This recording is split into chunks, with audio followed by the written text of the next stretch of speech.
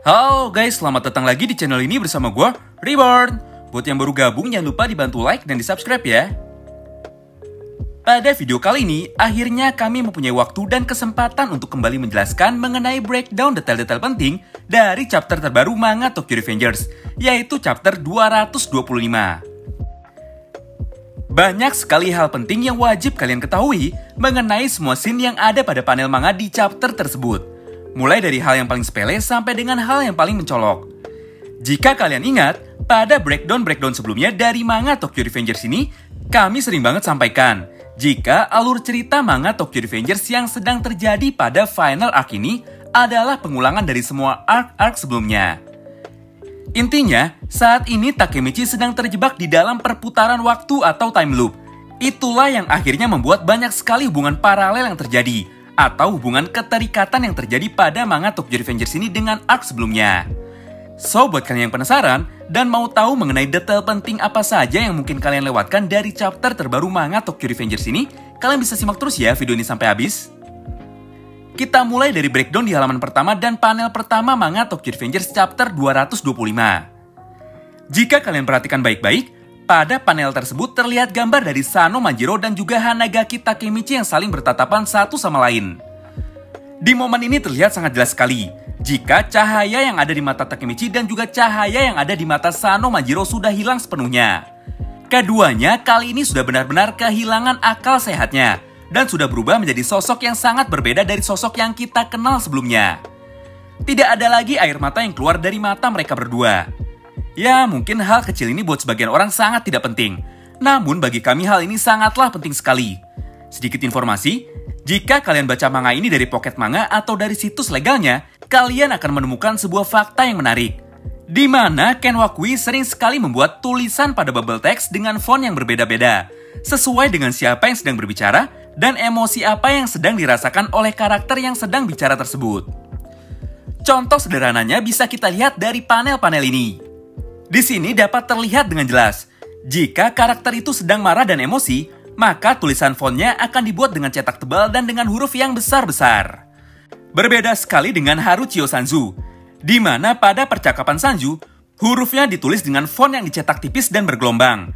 Hal ini menandakan jika emosi dari Sanzu sedang meluap kegirangan, menyambut pertarungan besar antara ketiga geng terkuat penguasa Tokyo ini.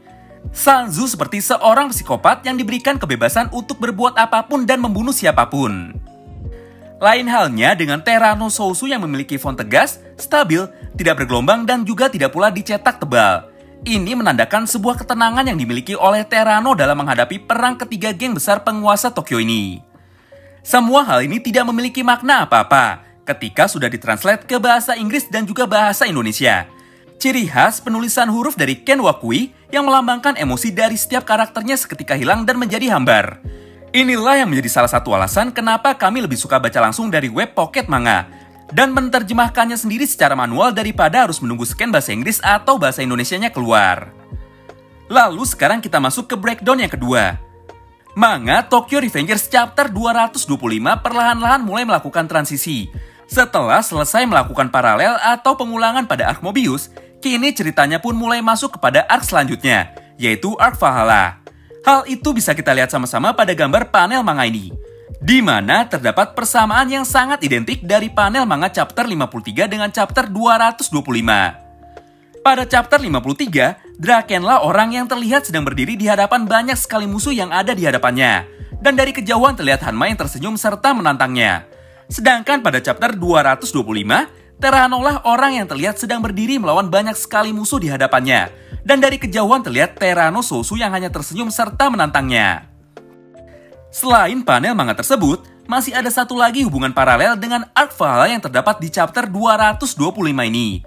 Yaitu sebuah panel yang menunjukkan persamaan identik antara Wakasa Imaushi dan juga Keisuke Baji. Di kedua panel ini terlihat sangat jelas sekali jika Baji dan Wakasa sama-sama menitipkan nasib dari orang yang berharga baginya kepada Hanagaki Takemichi.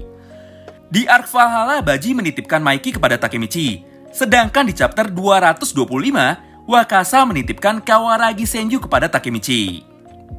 Jelas sekali ini bukanlah sebuah kebetulan belaka. Pasti ke depannya akan semakin banyak paralel yang dimunculkan antara Arc Valhalla dengan Final Arc ini. Ironisnya, jika Final Arc ini adalah sebuah gabungan pengulangan dari seluruh timeline yang sudah pernah dijalani oleh Hanagaki Takemichi, maka tentu saja ke depannya kabar buruk akan kembali mendatangi Wakasa Imaushi. Sama seperti apa yang pernah terjadi kepada Keisuke Baji, di mana pada akhirnya Baji harus mati dan mengorbankan dirinya sendiri demi bisa menyelamatkan semua teman-temannya di masa depan.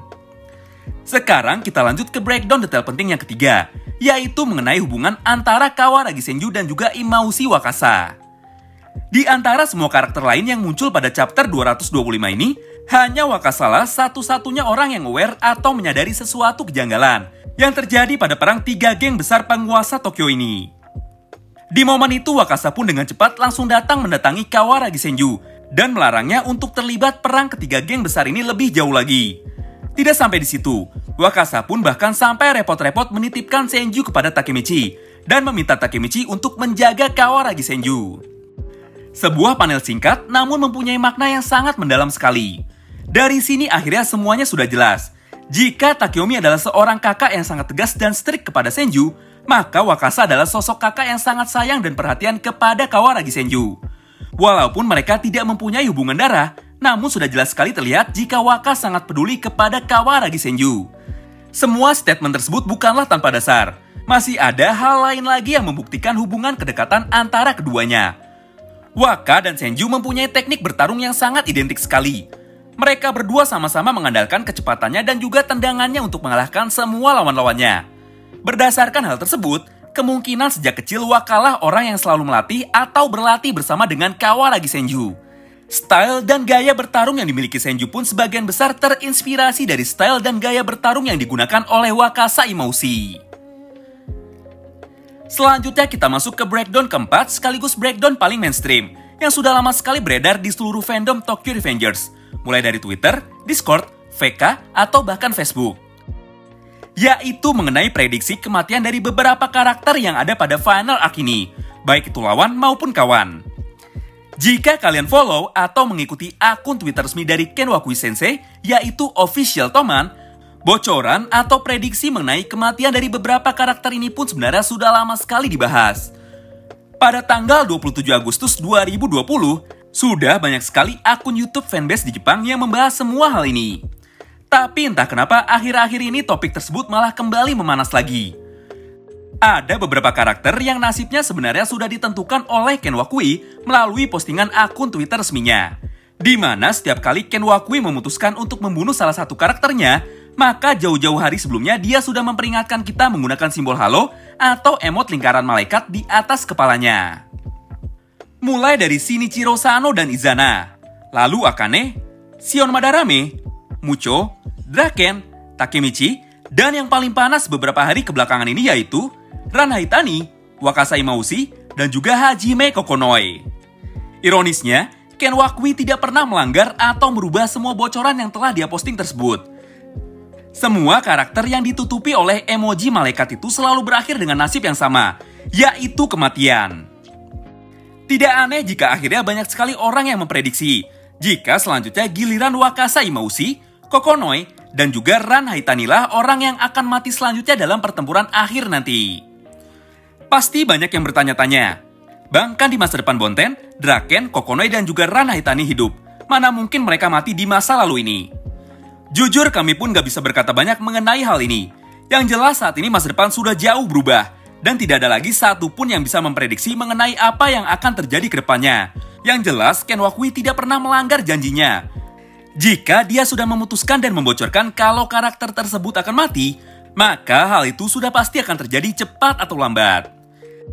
Terima kasih banyak yang sudah simak video ini sampai habis ya. Sampai jumpa lagi di video selanjutnya. Bye-bye.